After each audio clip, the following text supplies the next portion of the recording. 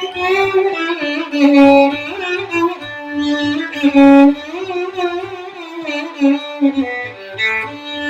you.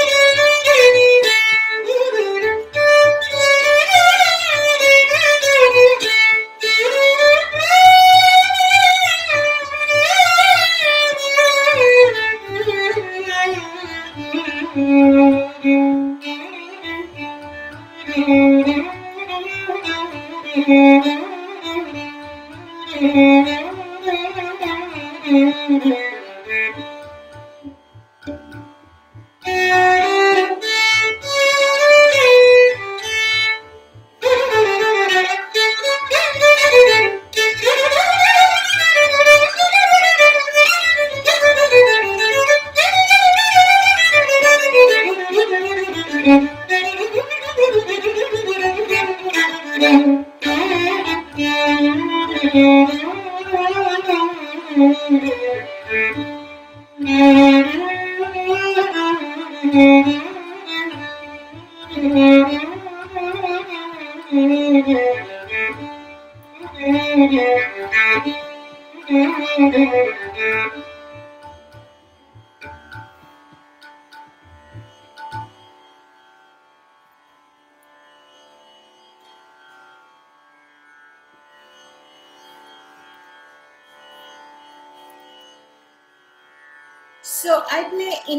classical music.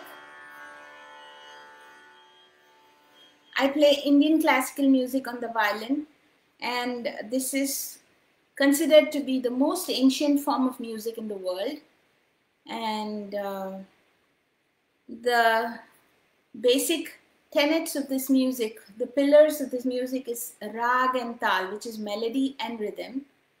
And uh, and we have uh, i wouldn't rag literally means something that colors your mind. So the scale that you play. So in india we had over 4840 scales. And um, since this music was never written down never documented a lot has been lost. And probably right now a maximum of 500 to 600 such scales are left, musical scales. And, uh, and yes, I play the vocal style of music on the instrument. So I try to reproduce vocal music in totality. So this is what I do. And I'm, I'm ready for some questions if you're, if you have any. Yes. Let me just check.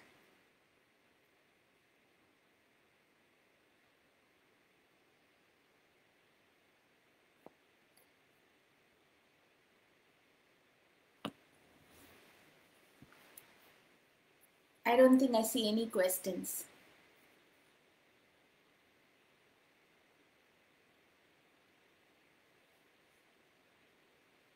So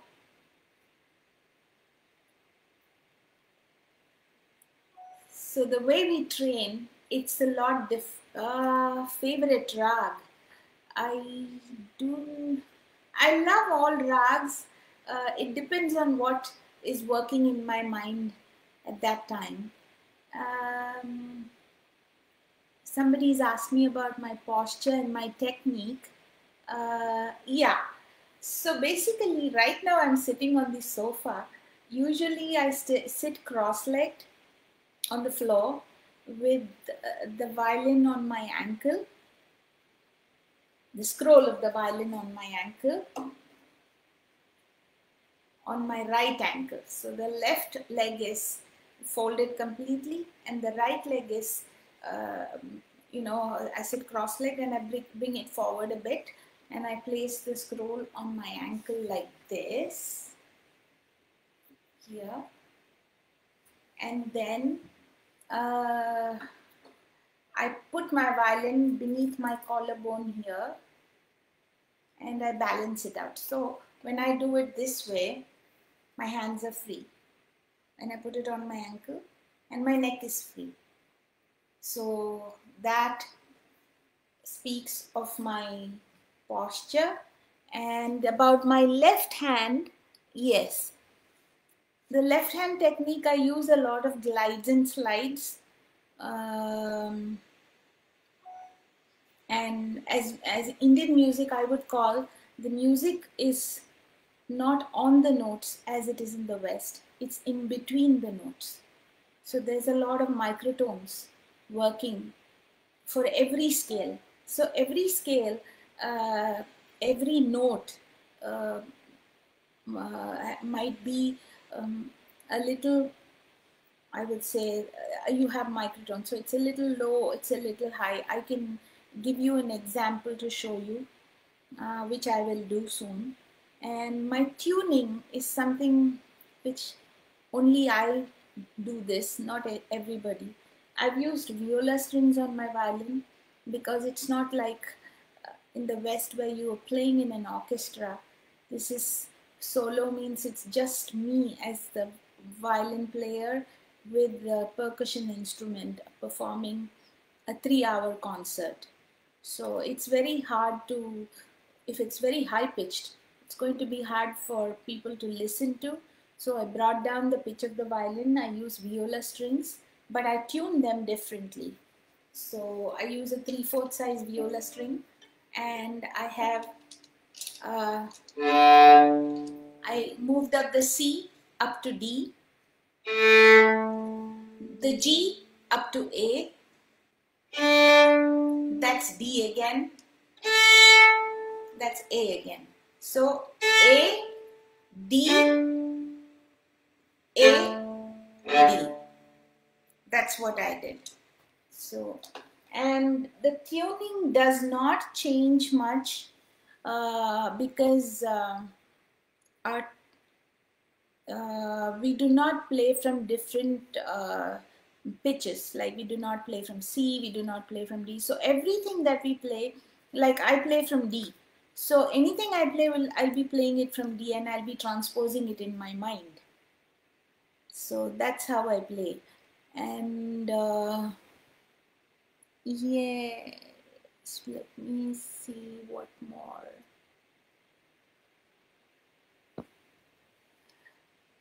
Some musicians and artists that inspire you and your music. Uh, a lot of people. It's just not one I when I listen to a lot of musicians there are a lot of things which stay in my mind from a particular musician's music and which comes out as my own when I play and then I realize oh my god this is what I heard. And uh, and it, it comes out as my something of my own. So yes but in indian music there are two artists. One is my uh, teacher pandit jasraj. Then there is um, a very great singer called kishori amonkar who's no more and uh, then there is of course ustad zakir hussain who have inspired me uh, any different from Carnatic music? Uh, yes, both the styles are totally different in the sense they still have rag and tal, but all the uh, scales, the rags are different in Carnatic. Some, some are the same, but they have different names. And uh, the technique is different, the form is different, the presentation is different, everything is different. So that is a totally different classical system altogether. In India, we have two different classical systems. One is Hindustani and one is Carnatic. And uh, Hindustani has more leeway for improvisation, which Carnatic music does not have. Uh, there is way, uh, leeway for improvisation there, but more structured. And Hindustani gives you a lot of independence to do to uh, play within a structure. Yeah. And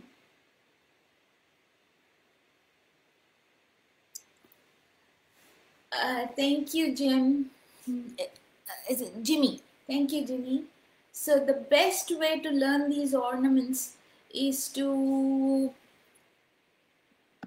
practice some exercises. So I have uh, I think one of the exercises that you could do is this.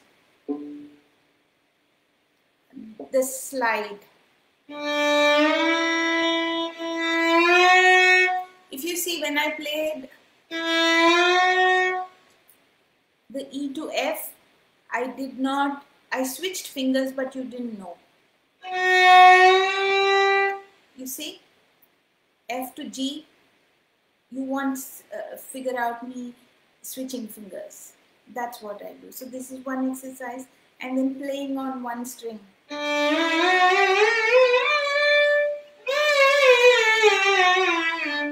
All in one finger. And then with different.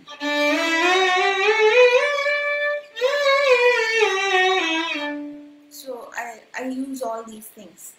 And then as you learn, you start picking up more and more ornamentations. So, yes, yes, Maurizio, I am thinking of D or A as the root of the rag. Yes, that is my tonic. Yes.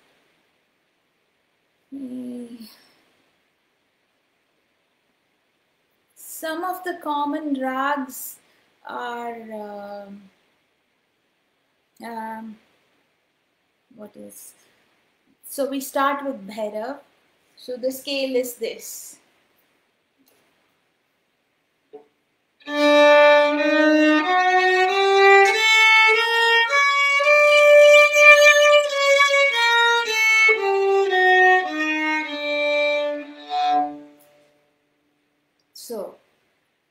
start with this this is called Bhairav then we go to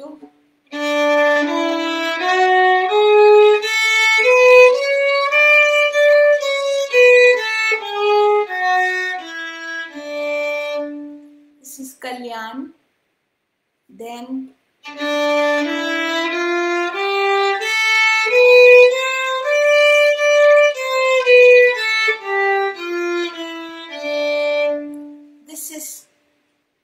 Kafi, not coffee and then and then uh,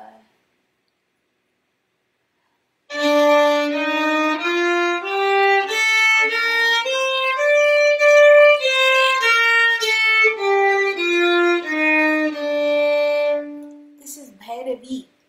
So you with, with these four rags we cover the whole uh, gamut of, of the major and the minor notes the flats and the sharps, everything is covered with these four. And then we have pentatonic scales, like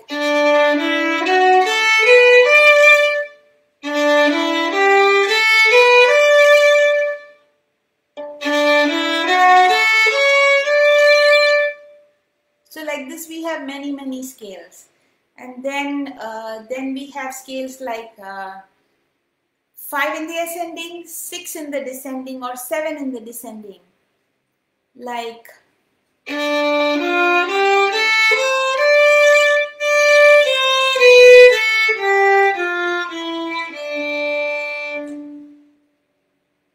so this is 5 and 7 uh, the names of the four main rags are Bhairav, B H A I R A V. Maybe I could uh, type it.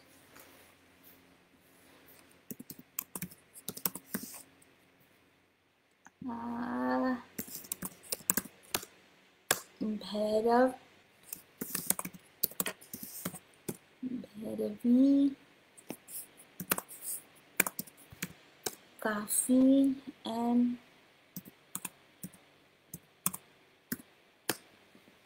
these four uh, rags kind of uh, bring in all the notes that you need to learn.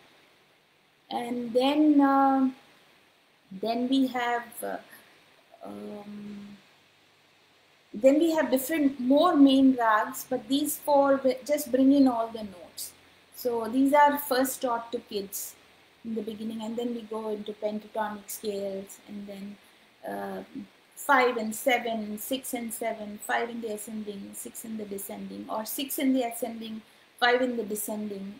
Depends. We have many scales like that. And then the the basic way how we start uh, developing on improvisation is like we have oh this is another scale which is very very important the major scale. So it's called bilaval this also. This is the major so so this one too is we work on this too. So so we start creating our own exercises. So then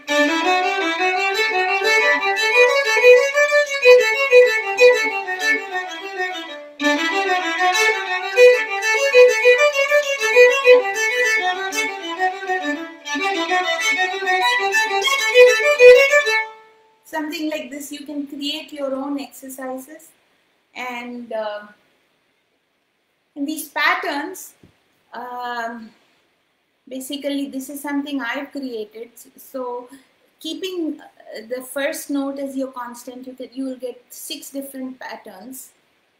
And then keeping the second uh, like if you play if this is the first note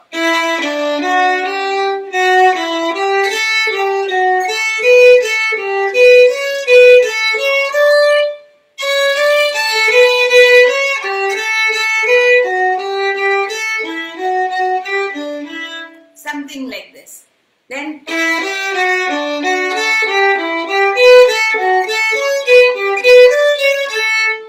so these are exercises. When we keep on playing this and we memorize them later on when we have to improvise it becomes very easy for us. And it, it this in, includes playing the uh, these uh, i mean playing includes all these uh, uh, variations in different different scales like for example you have the major scale you have the natural fourth now, just maintaining the natural fourth and switching between the flat and the sharps uh, of you're going to get uh, I would say 16 scales. Just keeping the the G as the constant natural G natural then keeping this as the, as the constant and when you keep changing whatever you do all those changes, you're going to get another 16 scales. So you have 32 scales already to practice. And then, uh, then you have uh, these uh, variations and the patterns that you can create on your own and you work on them. So when you get, when you master these things, then improvisation becomes very easy, which is why an Indian musician always improvises. It doesn't have a problem with improvisation. And uh, the other thing is, uh, yes, about the microtones that I was talking. So we have the same 12 notes as it is in Western music, but the only thing is the, uh, the quarter tones and whatever that we have uh, I will show you a scale which has all that. So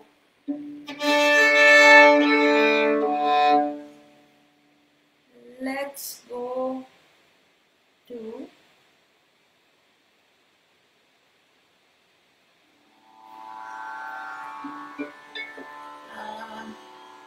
so this so we have scales for the morning for the afternoon for the evening for the night we have different different scales. So I'm going to show you how the same note sounds different in the morning and in the evening. Uh, uh, so, so this is because of using you, the use of microtones. So, in, in in Indian music, it's considered that um, music has a connection with nature and the physiology of the individual. So, which is why rags, which are which literally means coloring the mind, scales which color the mind. So they have an impact on how you feel. So one of the scales I talked about Bhairav. So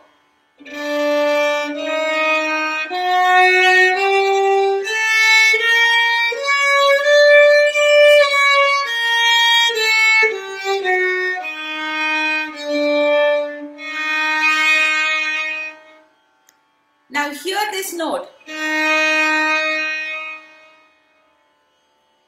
Okay.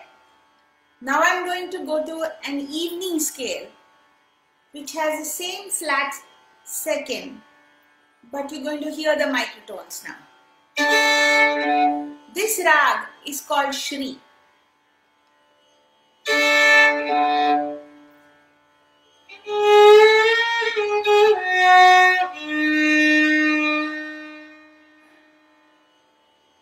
Did you hear the Shruti? Did you hear the change? Now,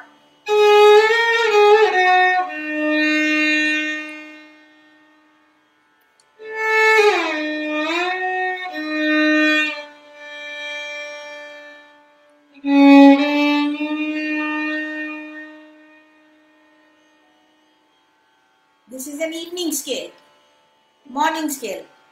Hmm.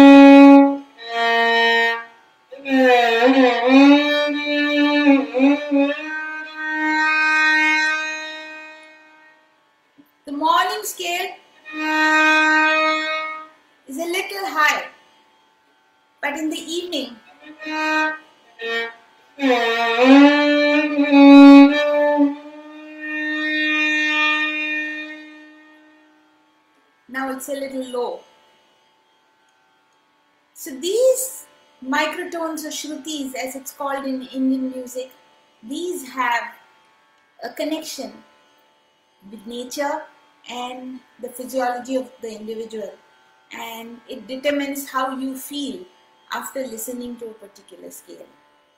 So the morning scale is more, uh, I would say, spiritual prayer, devotion. You know, when I when if I play that rag for some time, you will feel it. And in the evening, it's more melancholic. It's more like uh, getting, uh, you just want to be with yourself. So the way I look at it is morning, you're up, you're bright, you know, you're ready for the day. And in the morning when you get up, first thing you want to do is, you know, take some time for yourself and be in prayer or something, you know, just to. And then in the evening, you you back from work, you you're tired, and then this the way the note the note is, it's lower than the flat second in the evening and is higher, a bit higher than the proper place of the flat second in the morning. So this speaks of how it determines how you, how the note determines how you feel during the day. Yeah. And what else was I asked? Ah, when did the violin first get introduced to Indian music? So basically, we had instruments which I would call as ancestors to the violin, which are played with the, with the bow. So it was first called uh, Dhanur Veena. So every instrument is called the Veena, it's any stringed instrument. And the bowed instrument was called Dhanu. Bow, bow literally in Sanskrit in India means Dhanu. So Dhanur Veena, the one which is played with the bow, the Veena which is played with the bow. So it was called Dhanur Veena, and this I'm talking of 5,000 years ago.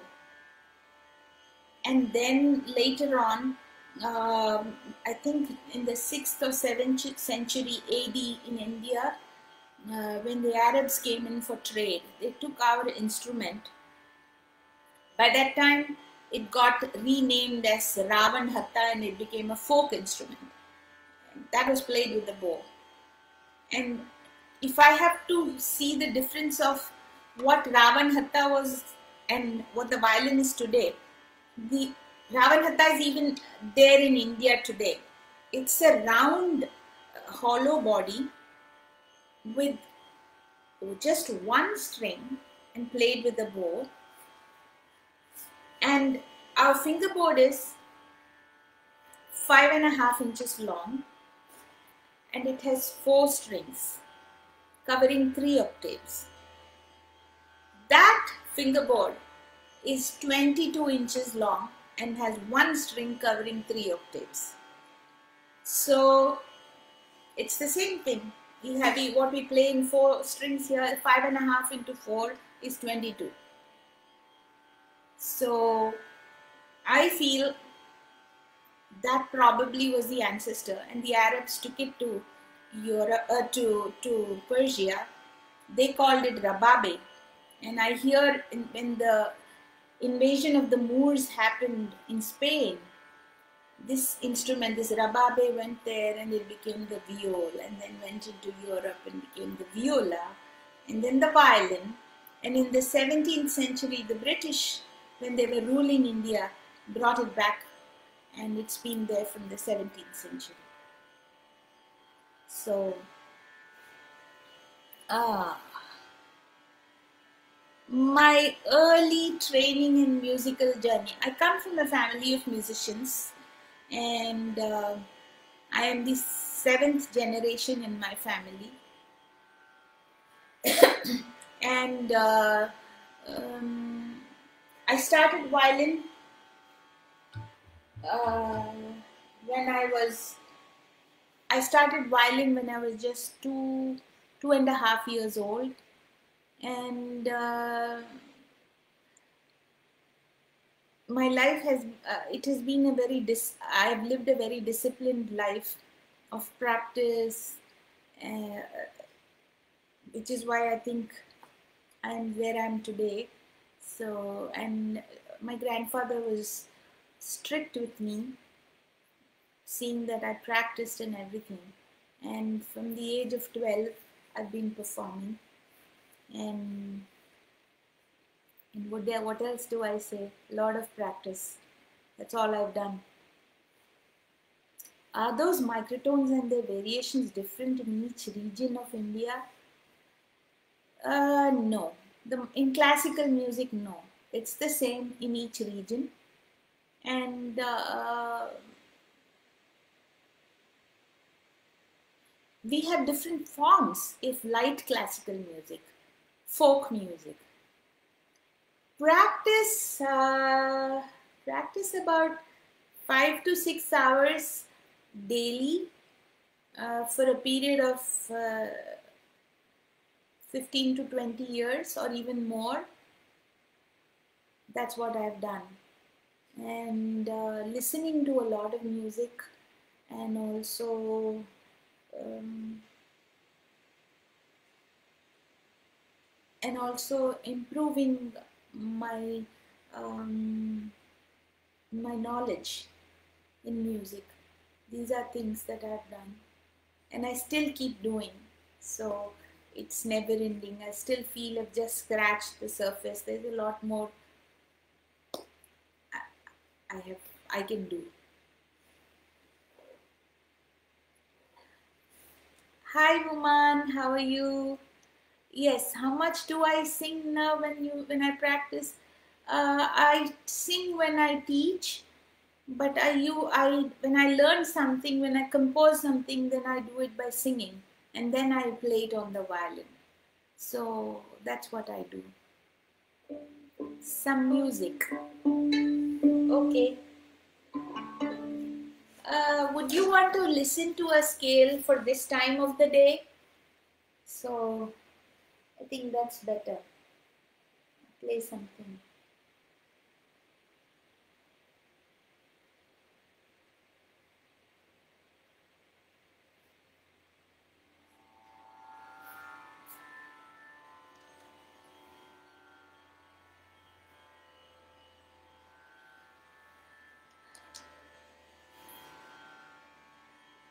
I do. I do have special techniques which I play and that can be used in, in the Western musical context too. The technique that I use, it can be used there. It's just that uh, one has to uh, sit and practice it. That's it.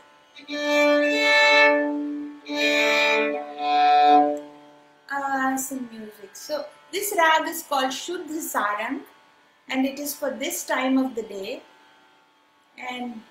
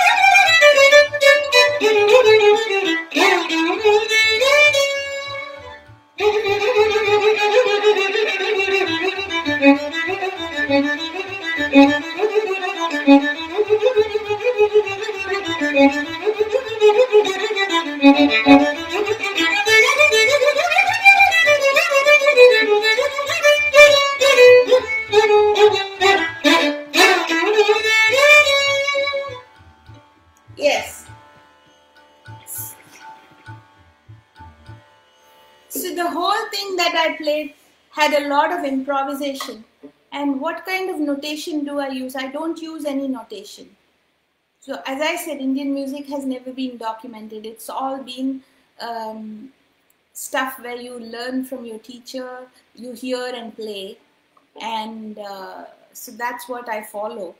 And uh, when I compose too, I just uh, compose and then I record it, and then now I've found found a way of writing my music myself, but I don't think anybody will understand it except me. So that's what it is. So basically, this uh, the way you play the scale is.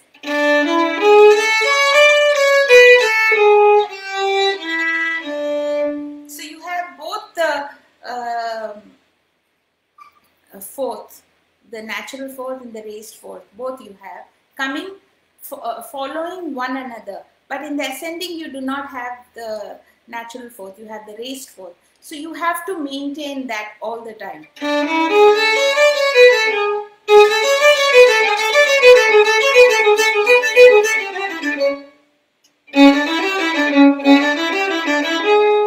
You saw that?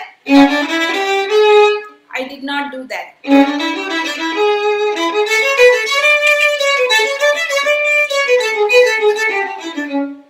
So that's how you go.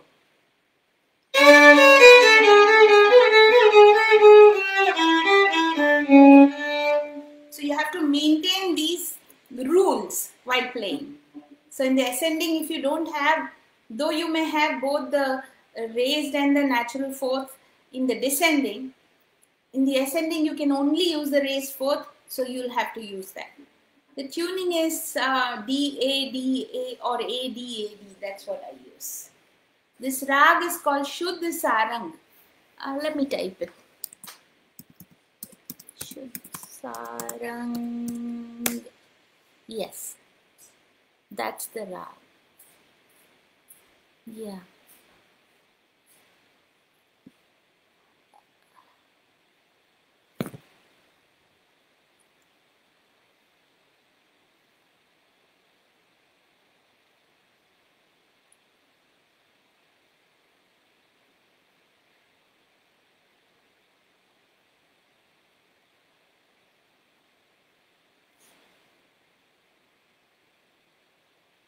I'm just looking. Um,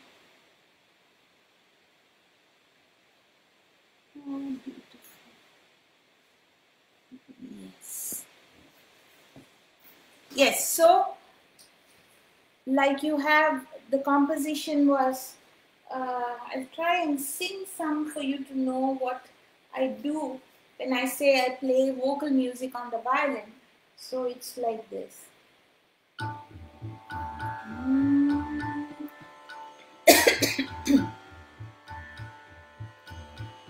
जाओ जी जाओ शाम छलिया जाओ जी जाओ शाम so if i'm playing if i'm singing this if i have to play this on the violin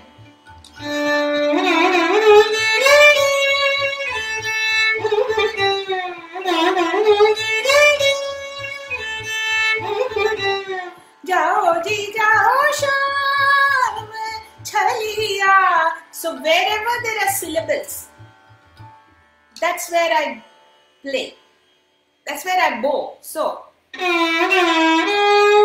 Jao Jao.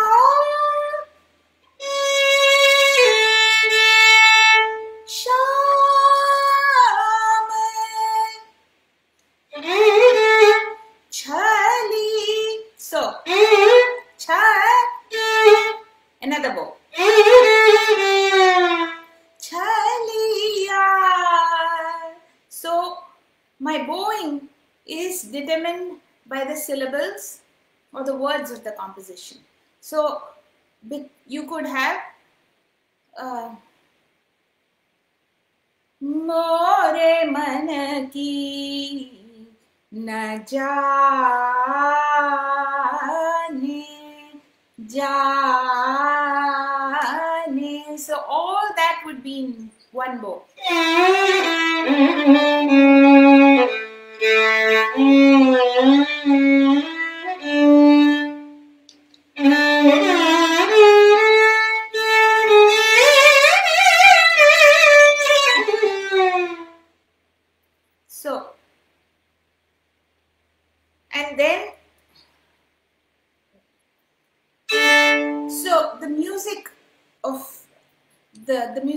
play, it starts off very slow, where I'm, it's like I have this scale. So this is a scale, and now, now I have to develop on this scale. It's all improvisation. So note by note, I develop. It's like you can imagine that um, I have certain colors given to me and I'm supposed to create a painting. So whatever I feel at that moment of time is what will be created. So if I'm if I'm going to make a portrait, how would I make it? I mean, probably I'd start with the eyes and the eyebrows and the nose. So it's or the whole music is like that. So it starts off note by note. I develop the scale. So this development can happen uh, like it could be done in three minutes or it could be done, I could go on for about an hour developing the scale note by note and without being repetitive in my phrasing. So it depends on my mood and how I feel. And then rhythmically we start building it up. So this is total without any uh, rhythm in it. The first movement, the first movement is called alap, where we do this without any development, I mean without any rhythmic development. And then the second movement is called boltan, where we use rhythm. So, and then, then we come to tan, which is uh, uh, developing, taking it further, fa faster and faster till we get to a crescendo. So we have three to four movements like that. And developing it, sometimes I can do it in, can do the whole thing for about an hour and a half, just one scale. Shuddha Sarang I can play for an hour and a half, or I can just finish it in three minutes. It's all up to me how I feel, what I want to do, but I have to follow certain rules, and that is all I do and the rules are stick to um, the rules of the rag and then stick to um, the rhythmic cycle so in uh, classical music has many different cycles like uh, of you know 16 beat cycle which is a 4 4 or uh, a 10 beat cycle 7 beat cycle 9 beat cycle so uh, okay. The four movements. Alap.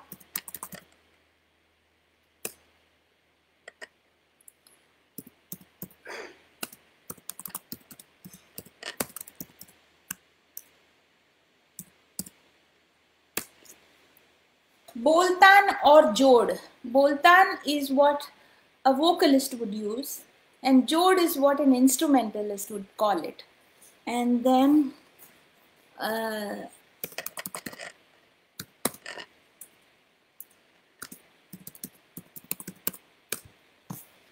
tan or jhala is the fast speed again tan is what an in indian uh, vocalist would call and jhala is what an instrumentalist would call it so the technique of bowing and using slides from your ornaments, how and from.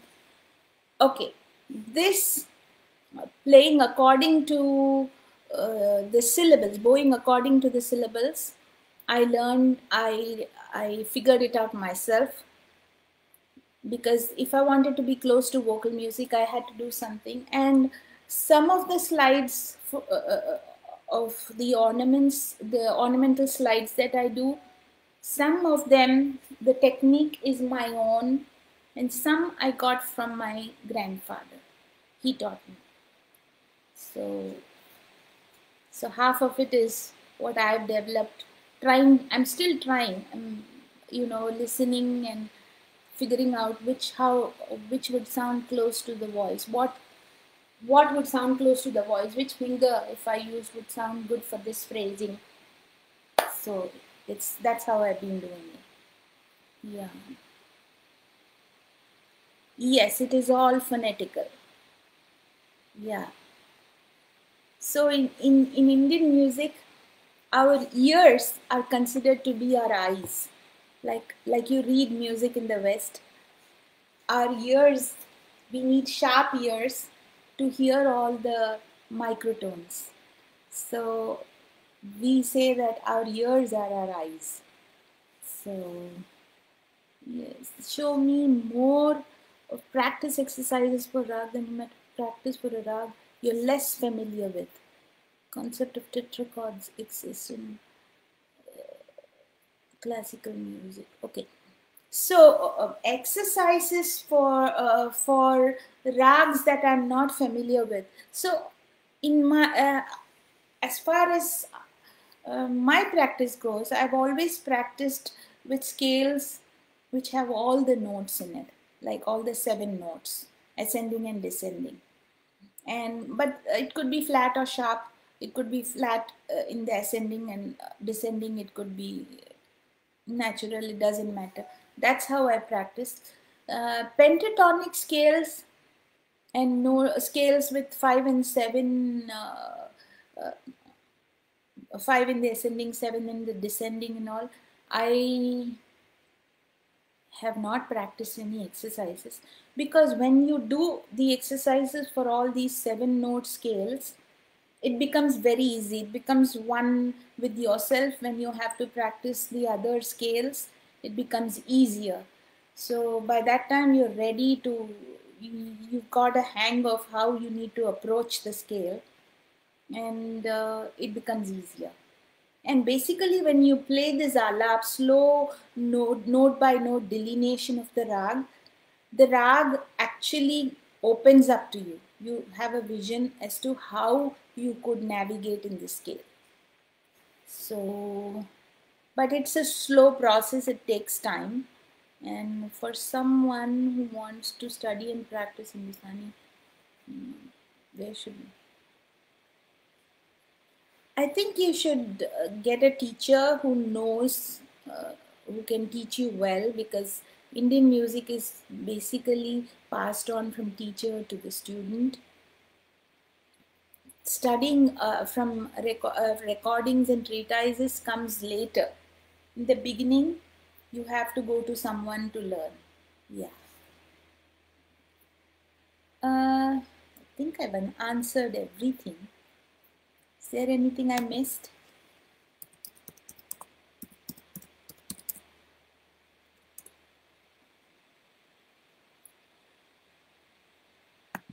So somebody asked me about tetrachords.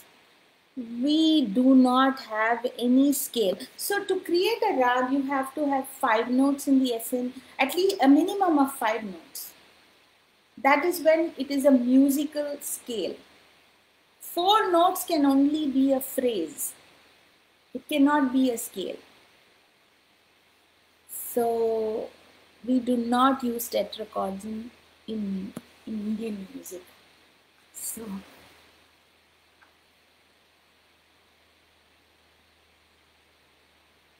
thank you all. Is that is that it?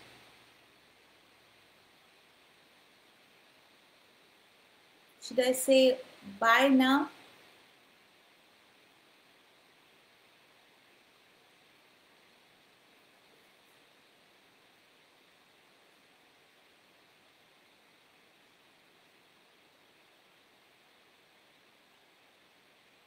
Thank you all.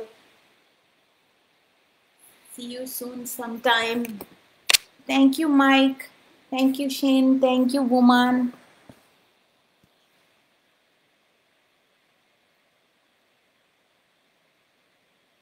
Uh, we're coming another we're coming out with another album Bikram and I. We're working on it right now Michael. A little more? What do I play now? Okay let me see what I can play